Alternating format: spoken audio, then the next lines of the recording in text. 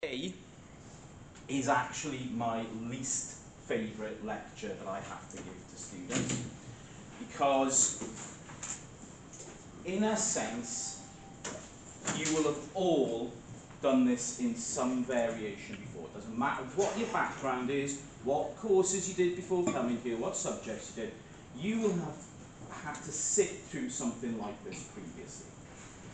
So, I want to focus on something different here. This is not me telling you how to do something that you already know to do. This is me telling you how to do something in a way that the people, like me, like all those other people over in the digital technium, that mark your work, this is how they want it to be done.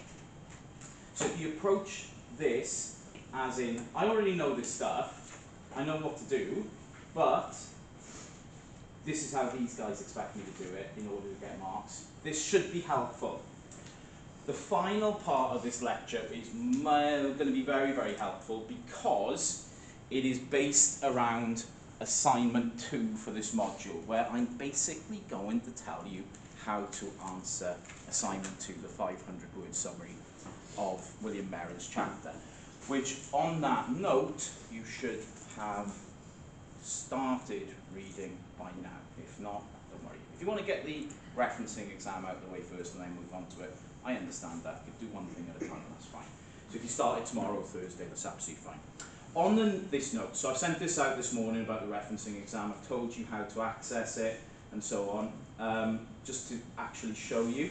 On Canvas, you'll see this tab in the left-hand column, assignments. If you hit it, obviously this is my view, you see things that I don't see, but there's a reason for this. And if you hit this tomorrow, it will load up the exam for you.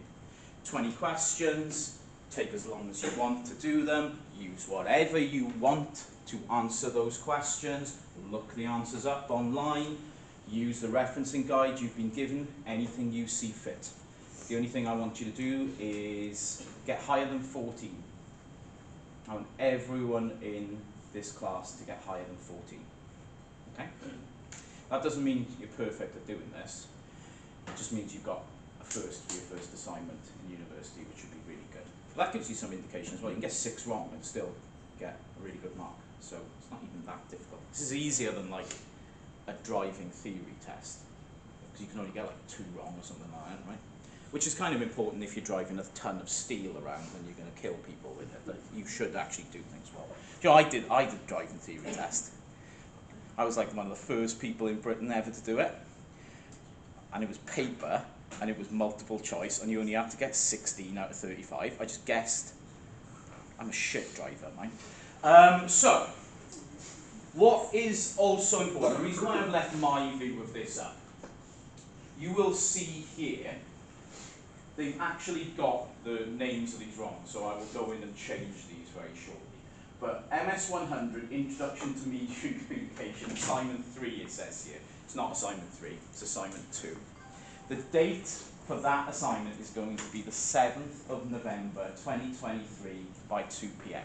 So your summary task will need to be submitted on the 7th of November at 2 p.m. unless you have mitigating circumstances for that in which I will be informed. So please take a note of that. Assignment 2 due in November the 7th at 2 p.m. or before 2 p.m. I don't know if anyone's ever said this. I suspect they haven't. It's a very, very bad idea to try and submit assignments right on the 2 p.m. deadline. The reason for this is it's not just you who's going to be submitting at that time that assignment. There are assignments being submitted all across the institution. There are hundreds of courses and thousands of modules going on in this university at any given time. That time, there will be an overload on the system at 2 p.m. People trying to submit assignments.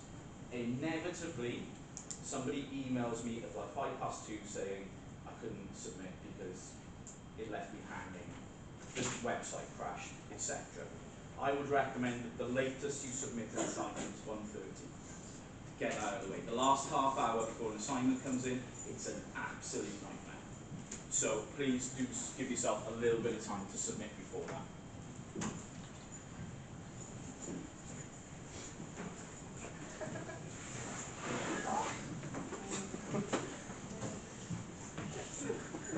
Object lesson in how to make life difficult for yourself right there. So I'm quite impressed. Do we uh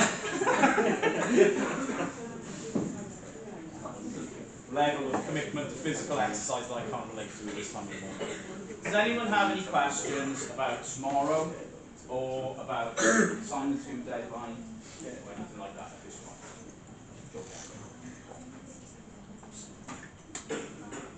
This is a good question. For the assignment tomorrow, is there any particular time you need to finish by? You only need to finish by midnight tomorrow night. That's it. Any other time of the day is fine. This gets marked automatically on the system, so it's not like I'm going in and marking them or anything like that. So I have set it, it will become live at midnight tonight, I guess, and it will run for 24 hours. It's a window for it. If for any reason you can't access it tomorrow, let me know. If there's a big problem and it's like you can't get to a computer for some reason, and this does happen, like people have to. I, a couple of years ago, somebody broke their leg. They went on the piss on Tuesday night, broke their leg, and they were like, I can't do the test. And said, why is that? And texted me, off, you know, emailing me off the phone and said, I'm in Morriston Hospital, I've got a broken leg. I was well, you could do it. There's nothing, you know, it's not stopping you using your hands, but I did give them leeway and said, you can do it next week. If something like that comes up, I will obviously move it for you. But if some, somebody emails me tomorrow night at like uh, like quarter to um, twelve, and it's like I haven't started it yet. Can I have more time? Well, I'm not going to answer anyway. It's like I'm not.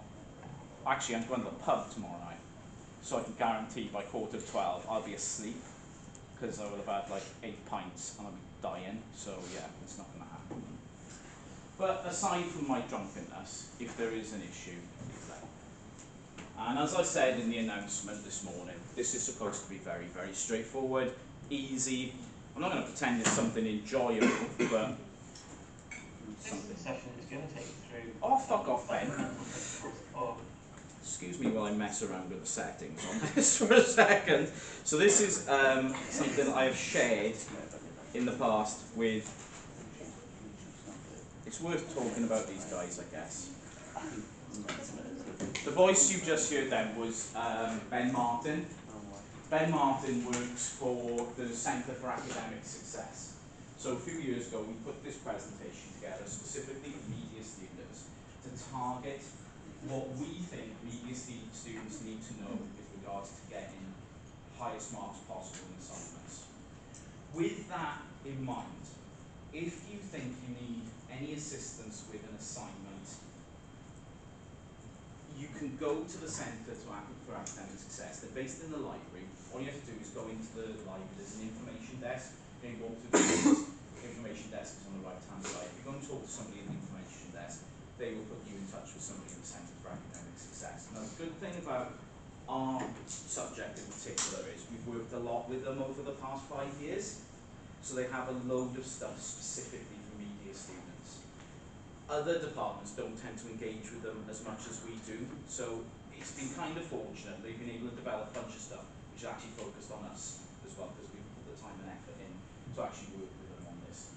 So there's Ben and there's Pete as well, uh, Pete uh, Hanratty, who is one of my PhD students. Pete, actually, media specialist, works in that department so he'll work with you on assignments if you go and ask for assistance. The one thing I think people find difficult about asking for assistance with assignments is you think, does that make me look stupid? Does that make me look like? No, it doesn't. What it makes you look like is that you're serious about getting a good mark. And that, at the end of the day, is what you want, right? So if you do have specific needs or requirements, or you just want some help, and you feel you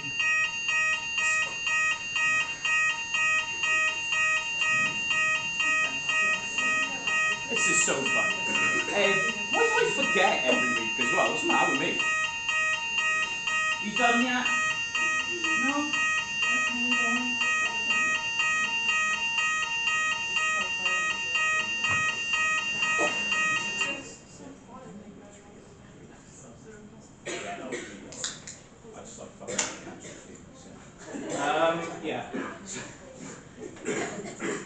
That building, I used to have lectures in that building when I was a student. It used to be always on fire, that building.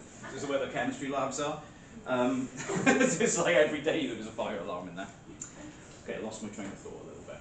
Um, this session that, uh, not just Ben, actually, a couple of other people and I put together about three, four years ago now, is specifically aimed not at being absolutely patronising, or it's going to feel patronising at times, but it's aimed at what we want you to do in order to achieve a particular set of assignments. Now, I'm going to let you know a little bit about how cynical life is here. Okay. You, sir, have we ever spoken before? Do you know what degree I want you to get? Considering we've never even spoken before. Why would you assume that? It's the best one. It's the best one. Do you want to get that? Ideally, Ideally you do. Why do I want you to get that? I hope you will miss. Dude, we've got a lot of learning. But you, but you are right. That is what I want you to get. Now, from a more benevolent perspective, it's absolutely correct best for you and the best outcomes for you, and I want you to have a good life after this institution, right? But on a much more what we call instrumental scale, if you get a first, that looks good on my statistics. I have what we call KPIs, key performance indicators. I want you all to get first, because that would blow my KPIs out the fucking window. I could just walk into the office and say, money, money, money. I want money. Let's see how good I am at this job. Give me money. Now, there are two ways I can go about doing this. One, I can rig all the assignments and not bother marking them very well, so just hand out first. But that's fraught with difficulty because at some point somebody is going to look at those, they're called moderators, and they're going to look, Leighton's not even taking this job serious. I mean, we knew he wasn't taking it seriously beforehand, but now he's really taking the piss. So I can't do that. So they said the other way I've got to by actually telling you how to get a first class degree in the first instance, right? If I do that, then you can go away and do it. And I don't have to cheat. And I don't have to get fired, and I don't have to end up living in a bin. Because that would be the outcome. And I don't want that outcome. Instead, I want you to get a first by me telling you actually what you need to do. So, this is the purpose of doing this. First point about doing any assignment in a university setting, and I'm using the word reader here because assignments primarily are going to be read, even if they're actually reading, even if they're video stuff, what we do is kind of take a reading approach to them. We look at the video we look at how things we put together and then what information's in it rather than look at the visuals very often. So, first point, know your reader. Know who it is that you are writing or producing this assignment for. Can't actually stress how important this is. And this, I think, is one of the big differences between doing assignments at university and doing assignments at a pre-HE environment. Very often, when you're doing assignments, say if you've done A levels to come to this um, stage in your life, you won't know who is reading that A level examination or piece of coursework. It gets sent away to some random. Random's a bit unfair, I mean, it's obviously somebody subject knowledge, but it's somebody you wouldn't actually know personally. In this environment, you do know the person who's going to be marking it. MS 100 assignments, me. MS 114 is doing that module, Elena. MS 103, Joanna. Now, I think Joanna's wonderful, oh but you better like properly with Joanna. I am having, right? If studies, properly because Joanna puts up no shit whatsoever. She's not brutal, she's just very, precise. Know who is actually doing this and know what their expectations are going to be. Now, lecturers will tell you what their expectations are. We will not hide that from you. That's me up there. I, was, fucked up picture. Check that out. That's actually me. Yeah, I know, dude. I'd say I've got a funny thing with pictures.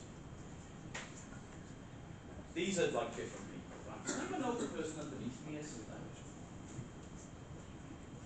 No? Ah, very famous novelist. English literature people should know this. Because you're going to be reading it at some point. It's Ernest Hemingway. Um, if you were writing an assignment for me, I wouldn't expect it to be the same as if you were writing it for Germaine Greer on the right or Ernest Hemingway underneath. Ernest Hemingway would expect you to write some kind of florid fucking literary thing where, you know, you've got allegory and you've got metaphor and all this crap, right?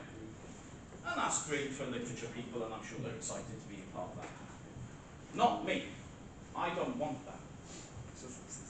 What do you think I?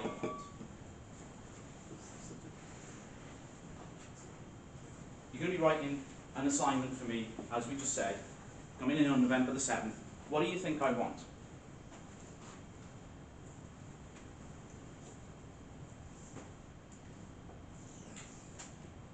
Yeah, academic integrity. Do I want that? Yes. I would like your work to illustrate the principles of academic integrity. That means one, no cheating, two, acknowledge your sources. Anything else? Brilliant. Okay. I'm already telling you stuff you know. The most important principle for submitting any assignment in media studies is this. One word, very, very simple. Clarity.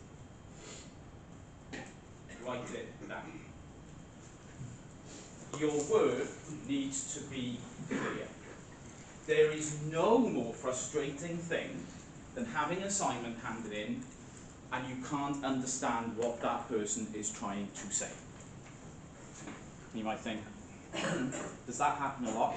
Hell yes, it happens a lot. I don't know what happens to people when they get to university that they think they have to ditch common sense language and write in some sort of style which they feel makes them look smart. You're already smart, or you wouldn't be here. Okay, you don't have to prove that by using the sort of language which makes me want to pick up my computer and throw it out the fucking window when I'm trying to mark something. I hate it when people think that it's a good idea that you use the thesaurus function on Word to improve your language. No. Write clearly. Make it easy to understand. Treat me as if I'm a moron. Okay? Do you know why? Got hundreds of these to mark. Clearer it is, the better it is for me. when I see something that's, you know, all of a sudden starts dropping adverbs into every sentence, and oh, fuck this, I cannot be doing this. I have to look a word, I'm like, dude, I mean, I've got pretty big vocabulary. I have to look up word, I'm like, oh my god, this is just adding time and stress. Clarity. Your work must be clear. Any lecturer is never going to penalise somebody for writing clearly. Never going to happen.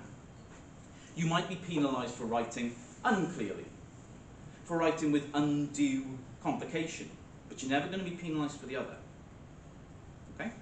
So that is the first main point that I want to make today.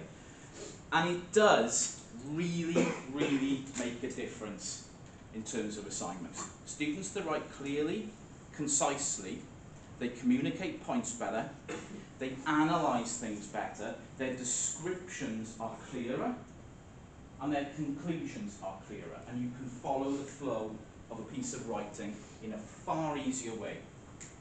So always, when you're approaching assignment, ask yourself, right, who's going to be marking this? Who's the person who's lecturing this course? What do they want me to do? They will tell you that.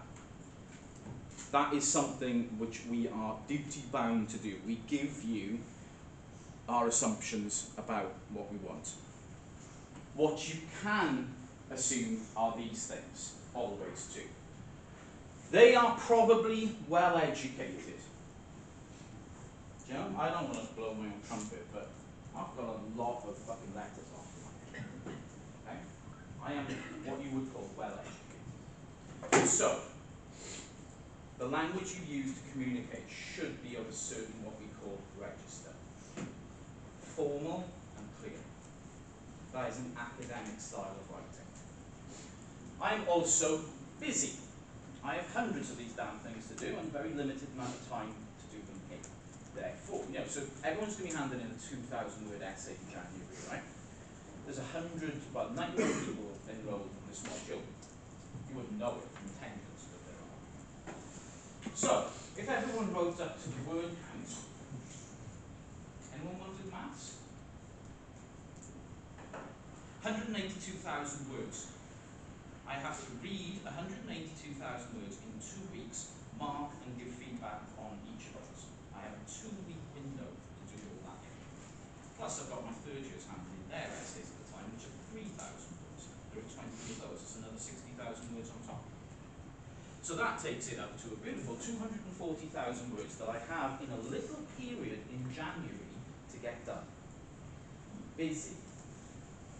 So, make it easy for me to see that you have understood the material and you know how to answer the question. That's the purpose of the writing. I also have a lot of essays with the same title as yours, so make yours stand out. How do you do that? You do it in two ways. One, you make sure you reference the correct material, and two, you make sure you answer the question. And you might think, what? Answer the question? How would you do it? So many people don't answer the question they've been asked. So many people just want to give their opinion on this topic. That's not the answer. Answering the question involves using research, evidence, and theory to propose an argument about the question. I'll come back to arguments later. I am extremely learned, what a word, I'm learned, in their subject. So I don't need you to explain a concept to me like it's an introductory textbook, because I already know what it is. A brief explanation of it will suffice. When you're writing for somebody at university, you can make a very good assumption that they know. But most importantly, I'm interested in your ideas. The best essays, the ones that stand out, the best assignments of any kind, are where students bring out their ideas with a note of caution.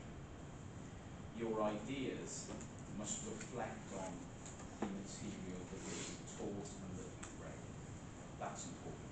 Just having ideas of your own, you know, the, the principle of I've done my own research. Fuck out, I'm not interested in your research. I'm not interested in what you Googled.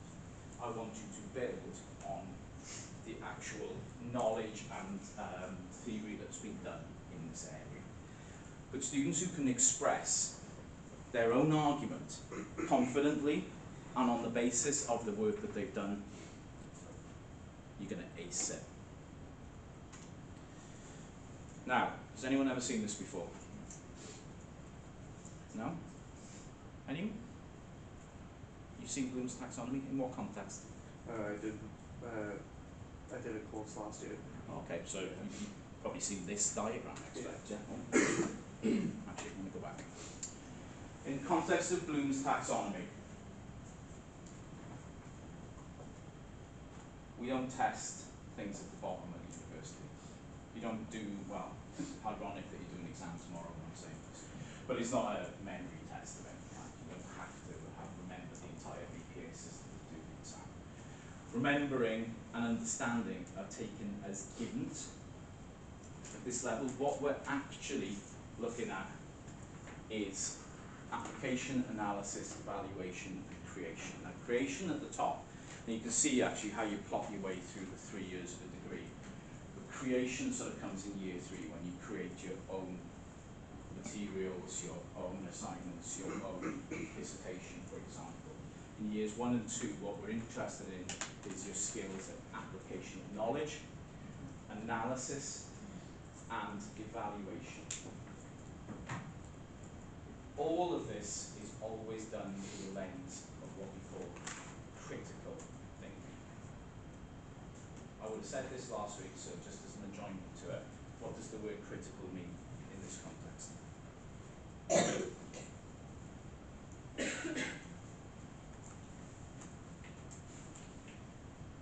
What is it to be critical?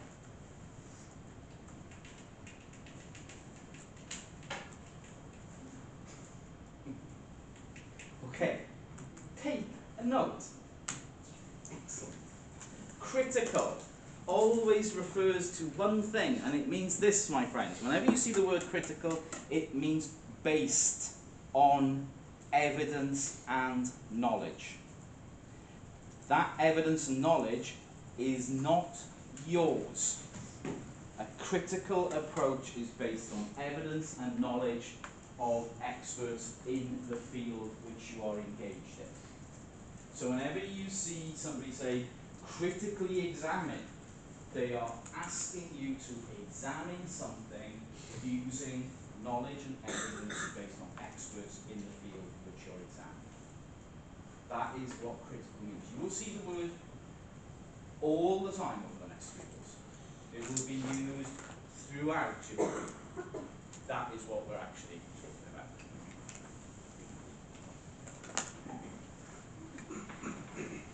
Basically, in Bloom's taxonomy, what happens is these things are what happens at school level. The top level is at a tertiary or higher level. It's the foundation of the education system. Now, what does this actually mean in practice? So these are the titles that um, I've put in the module handbook for your essays. When you're reading essay titles, look at exactly what you are being asked to do. Again, you will be surprised that people don't do this. They will see sort of this top one, explain how discourses work to legitimize the ideologies of ruling elites in society with reference to one particular form of media discourse. And then they'll just do an essay describing what discourse is. And that's not what's being asked. I'm asking you to explain how discourses are used to specifically do a particular purpose, which is to legitimize a particular set of ideas of the ruling dominant class in society. When we do lectures on discourse, this will become clearer. If you look at the second question, Theodore Adorno famously claimed that all mass culture is identical. Critically evaluate this claim. What I'm asking you to do here is not just to evaluate Theodore Adorno's claim, but use evidence, theory, and research done by experts in the field to support your argument about Theodore Adorno's claim. Theodore Adorno's claim is very strong, but it is also open to criticism. So it's actually going to be a two-sided essay.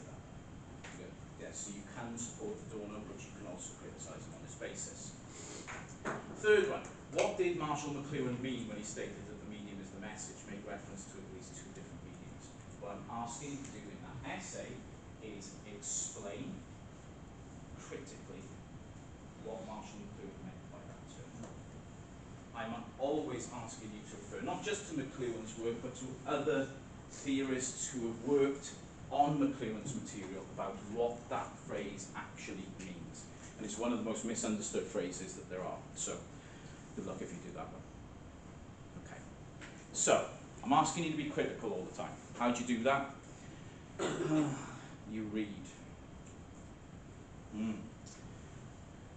We assume that reading means this. You pick up a book,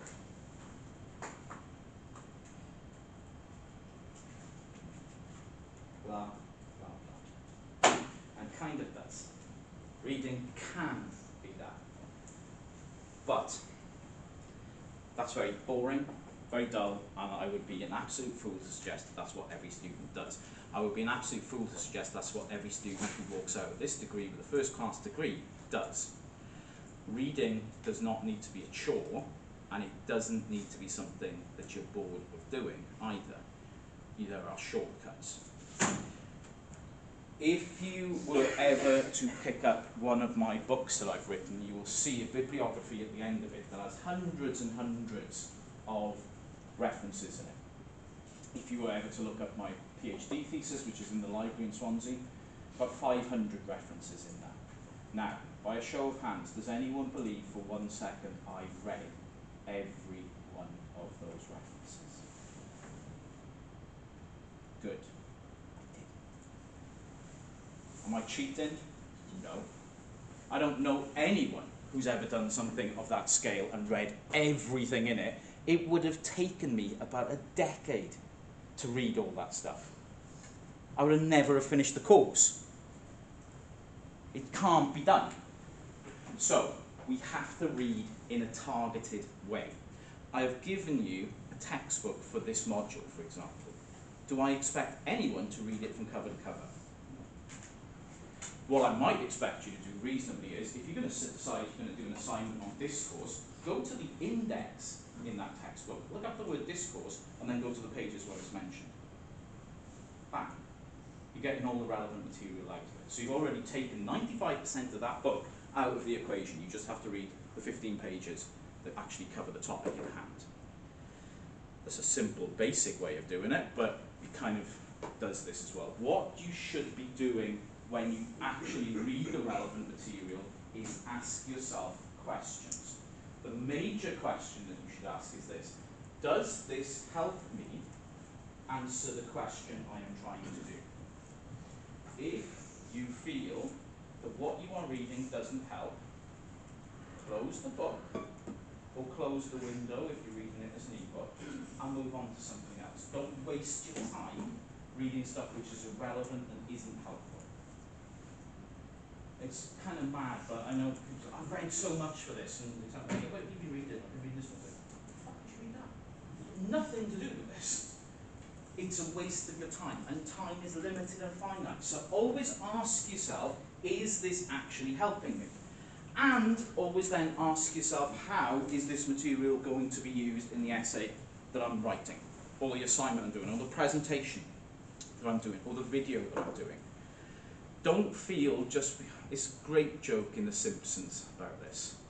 Right, when um, it's like Bart and Milhouse become conspiracy theorists, and they get this book about UFOs, and then Bart's like, yeah, well, UFOs are all this government conspiracy and it's being covered up. He said, wow, it's in a book, so it must be true. Books are full of shit. Are not reliable source. Ask yourself, what is a reliable source for something? You know all the stuff in the module handbook that I've given you? That's reliable. Do you know why I know? Because I read that. I've read other stuff as well which isn't in the module handbook and I put it in there. I don't think it's useful. I don't think it's relevant. The stuff that I've actually directed you towards, I know that's useful and relevant because pretty much based the entire course on that kind of stuff. So, always be looking at what you can use properly. Don't just feel, oh, read for the sake of it. I'm going to read this book and then I'll be able to do it. Doesn't work that way. So, if you need suggestions for what to read for something, again, ask the people who actually set the questions. Ask the people who set the assignments. They will give you the suggestions of what you should be looking at.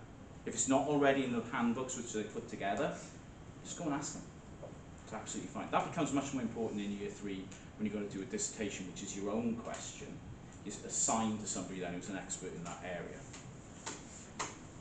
Always be writing, reading these sort of things. We've actually got to engage at this stage with why people are doing things. Why did the author write this? What is their position on this? Is that a position which is helpful to me? Books aren't written from neutral perspectives. You might have a position on a question and you'll read something by somebody who's arguing from a completely different position than you are. That makes that word really difficult to integrate with your own thoughts on something. So always be asking yourself this. Ask yourself, is this any different from other stuff that I've read? If you're looking and thinking, actually this is saying nothing new, stop. Don't waste your time. Why would you why, why would you reread something? You already know that knowledge. It's just saying exactly the same thing, this is the most important thing. Does it build my argument? Is it something that I can use? If it's not, give up. It sounds awful, right? Saying, "Oh, just give up." No, I'm being serious. There's not enough time in the world to be wasting your time reading stuff which isn't relevant. Now, you might want to read for leisure, but that's great, but you're not going to read media textbooks for leisure. If you do, you are head tapped, like, you know, you, you really do need to, I don't know, start drinking heavily, take some drugs, and anything. Don't fucking do that, it's terrible. So, always be thinking of these things. If you're reading for the purpose of understanding a topic, always ask yourself, can you understand what these people are saying? If you can't, stop, find something different. And you think, there's a lot of stuff out there. You know, there's a whole time for honesty here. There's a whole bunch of stuff written by academics. I pick it up and I look at it and think, nah, not reading that. I can't, it's like, but from the first paragraph of what somebody's read, it's like, nah, fuck this. This looks like a lot of effort to try and understand. This is written in a style which I don't appreciate. So I'm not reading it. I will go and read something else on this topic instead, something which is actually useful and clear. Unfortunately, a lot of academics are so far up their own analysis that they will write in that way.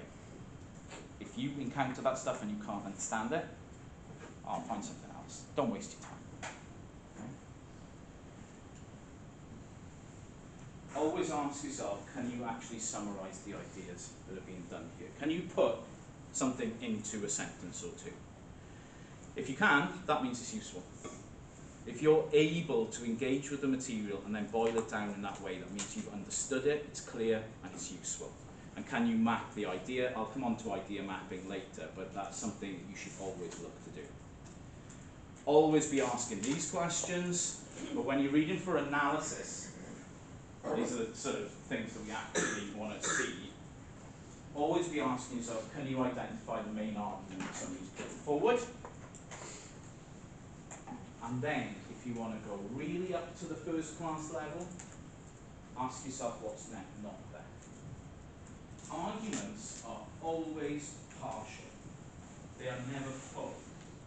Because there is always a different way that you could approach something. So an argument for something will say something, but it won't consider everything in it. So in terms of analysis, what you need to be anticipating if you want to be at that super high mark level okay, so Marx said this, but he didn't consider this. That's another part of your assignment which shows that you understand things in this way. What methods did they use to arrive at their argument, and how is this related to other material you've read on the subject? Because that's how you actually critically evaluate stuff, is by relating it to other material in the subject. This is difficult. It involves a number of different things to be able to write at a high level doing this, and, and to even read at a high level. One, it involves time.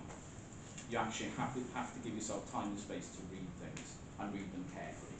Two, it involves integrating other knowledge into your reading process. You will already know other things, for example, you've already been taught stuff, you will have read stuff. The reason why this module is designed in the way it is, when we get actually onto the module content, as I call it, next week, is because it automatically then gives you material to start doing this in your other modules.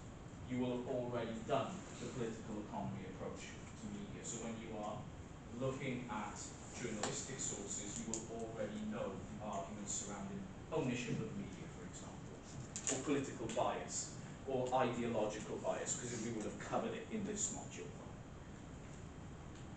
This point about methods, how did they come to this? That's very, very important in that how, you know, how did they follow the rules that I'm asking you to do? Did they build upon the knowledge of other people? Or is this just some idea which was pulled out of the sky? If it is, do we have to accept it? No. We can critique that. When you're looking to evaluate what we're asking you to do, do you agree with it or not? Do you agree with this point of view? An evaluation is effectively, do you think this argument is effective? Is it convincing? Does it stand up to close scrutiny? So, for example, in, uh, well, after the study break, I'll look at um, Frankfurt School and Cultural Studies in general. We'll look specifically at Theodor, Adorno's idea that all mass media is identical. That is an argument. What we will look at in that lecture is does that argument actually stand up to close scrutiny? Adorno's a really important thinker. So there's some validity to it. He's still an important thinker. He's been dead for 70 years, but he's still somebody that's talked about in cultural studies, not just in media, but in literature, etc. Right? So obviously his ideas have some importance. what we're going to look at is can we topple them over? Can we actually say actually Theodor Adorno's got a real problem here? What we should do, in reality, is not just say, yeah, Adorno's arguments here are shit because we should do it in reference to other thinkers who support our argument there. We should always be looking to understand what this means. Any questions so far? Okay. So, how do we do this through reading? Right. Firstly, search for material which is relevant. Identify keywords that you need to look for and search for them. Search for the material which is most relevant for them. Where do we search for relevant academic material? Using the library service is a good start. The library search engine is called iFind. That will take you to relevant academic. Anywhere else? Google's got it. Yeah. If you're going to use Google, do not use Google. Instead, use Google Scholar, which is the academic search engine embedded in the Google search engine. Many people sitting in this room right now are going to do this. They are going to search for keywords about their assignment or essay on google.co.uk. And it is going to take you to a whole bunch of interesting and informative web sources on that material. And what is going to happen when you use them in your essay? Everyone's going to use the same thing. Well, potentially everyone's going to use the same things, but actually, that's not as important as what's going to actually happen. Or you're going to fail. I'm going to take one look at your bibliography and automatically give you 30.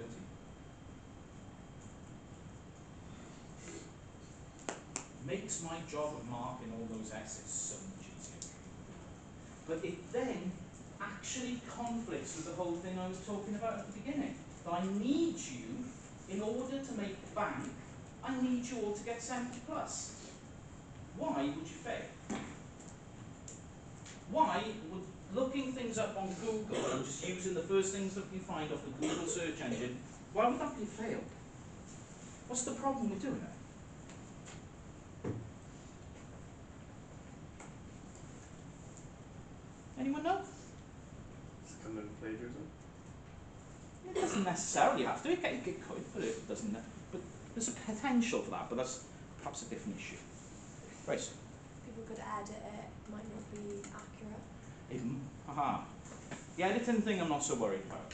The accuracy thing I am worried about. Web sources are not accurate. I could go back to my office right now and make a website. It's not something difficult to do. Anyone can do it. I'd say the, the ultimate site for understanding the political economy approach to the media. And I could put any old junk on it. And using some search engine optimization techniques, which again, any fool can learn, takes like two minutes, it'll appear at the top of every search for political economy of media. My little website. And you can go on it and read it. And put all that stuff in your essay. It's junk. Absolute junk. The difference is this. Tell you a little bit about how this works. I'm writing a textbook at the moment based on this module for the publishing company Sage. They asked me for an outline of this module, I sent it to them, they said, will you write a textbook about media studies based on what you teach here? I said, yes, Mr Sage, I will do that. Every chapter that I write for that textbook, I have to submit back to the publisher. They send it to five reviewers, who are all experts on that topic. That then comes back to me with corrections to make. Those subject experts tell me, actually, this is wrong, this is wrong, this is wrong. You need to say this this way, you need to do this, you need to do that, you need to include this, you need to include that. And that comes from five different people. And then I have to do all that work and resubmit it to the same five people again. And they check over it again. Academic work, academic material, published academic material, isn't stuff that you just shove up on a website. It is stuff which has been looked at and assessed and evaluated by experts to make sure that the material in that is correct. And actually, when I'm doing reviews of things, which I do a lot, I'm going to be going back to the office and doing a review of book proposals right now in virtual reality when we finish this. I'm going to be making suggestions for how that book can be useful. One of the most important things academic reviewers is they look at material and suggest, right, it's not just about is this correct, but how can it actually be useful for people to understand new concepts by reading this. That's a very, very important aspect of this. Set up your own website doesn't do that. It's not what it's for. That's the difference. Okay?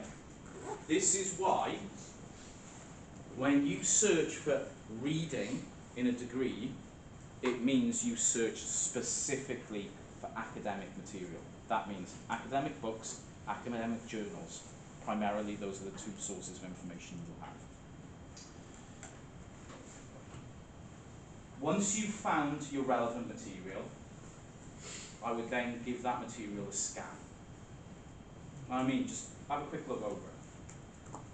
That will tell you where the relevant stuff is. So if you've got a nice little textbook, media studies textbook, have a scan of it.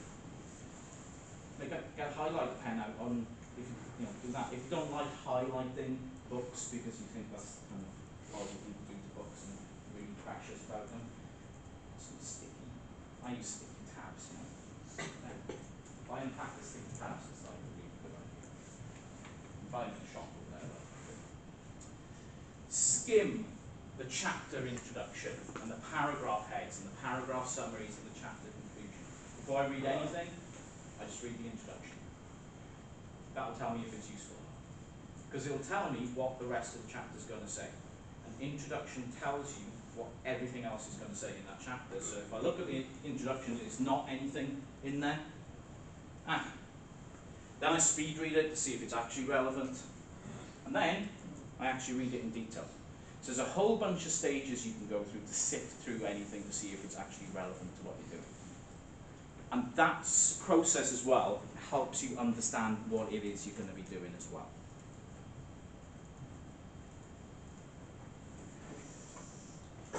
You don't have to read everything. You certainly don't have to read a whole book. I can't think of one assignment you will do in university which requires you reading a whole book. Very often you don't have to read the whole chapter of something. Sometimes, let me expand that. Often, you don't even have to read a whole page. It will be about finding the relevant information that you need in something, which can very often be a few lines or a paragraph at most. But it's about finding that. That means when I'm asking you to do an essay, and I want at least five different academic sources used, the thing that instantly comes to people's heads is, shit, I've got to like read a book and I've got to read an entire journal article. I'm not asking you to do that. I'm asking you to use academic sources. Most of the time, that does not involve reading the whole of anything. It involves you finding the relevant information in it and using it. That's it. It is not the daunting, intim- intimidating task that you do. And the more you do this, the easier it becomes, the faster you become at it, the more efficient you become at it, the better you become at it. So by the time you're in year three, you've moved from using five sources in your essay to using 25 in the same amount of time, with the same amount of effort, because you become more efficient at searching, you become more efficient at actually filtering out the noise that you don't need, you become more efficient at actually finding material within academic sources which is relevant, and more efficient at using them effectively. The difference between year one and year three, just with practice of doing this, is extreme. People all of a sudden will be looking to use. At this stage, I know when it comes, I, know what's going to happen in December and January. Leighton, how many sources, how many references, how many things, how much? And by year three, you don't get those questions. It just doesn't occur to people to ask that anymore because they've worked out that it's actually easy to do. But I appreciate at this stage it's not easy to do. I get that. Because you've been asked to do something you haven't been asked to do before. That's always a challenge. But the more you do it now, the easier it will become. You will find your way of doing it. George's way of it is going to be different from yours. It's going to be different from ways. Right? But everyone's have different ways of actually doing this. We all be roughly doing the same thing. But it, it, you will you will tailor it to suit how you are as a person and how you study. Okay, let's have five minutes and then I'll rush through the rest of this and I'm going to tell you where to get the first second.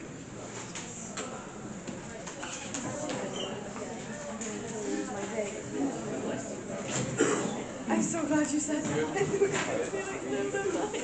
I'm like keep anyone waiting, Grace. Terrible.